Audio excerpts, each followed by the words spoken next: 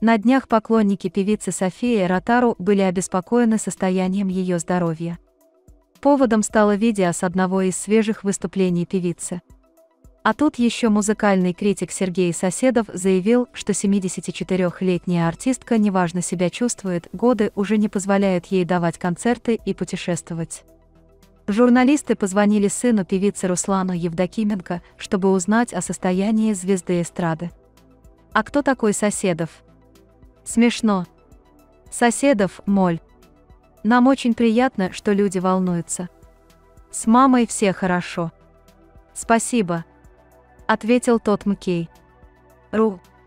Недавно о том, что на самом деле происходит с Ротару, журналистам рассказала ее сестра Аурика. По словам близкой родственницы, София Михайловна не испытывает никаких проблем со здоровьем. Она напомнила, что в желтой прессе певицы много раз приписывали смертельные диагнозы, и каждый раз подобные новости оказывались обычной выдумкой. Это просто сплетни, пушку кто-то пускает. Я не знаю, кому это нужно.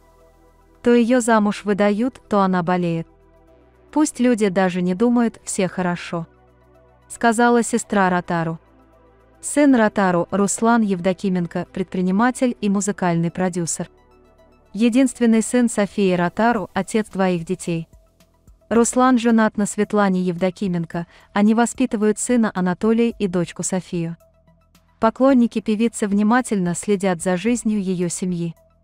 Руслан Евдокименко и его жена ведут страницы в Инстаграм, на которых регулярно выкладывают фото с Софией Михайловной. Недавно сын Ротару опубликовал архивное фото, на котором запечатлен в годы юношества.